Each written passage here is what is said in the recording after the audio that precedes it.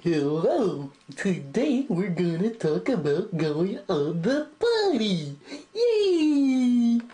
When Barney has to go, I don't go in my pants. I sit on the party.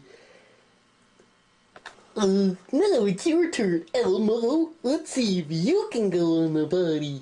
Uh, Barney, this seems kind of big for Elmo. Uh, you, should go on the little party, Elmo. Look out, Elmo.